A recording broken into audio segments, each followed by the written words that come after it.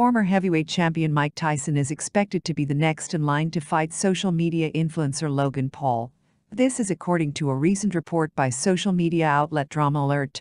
The complete details are unknown at this time, but the report suggests Tyson vs. Paul will unfold in February of 2022. That gives us four months to prepare for what will be one of the biggest combat events of next year.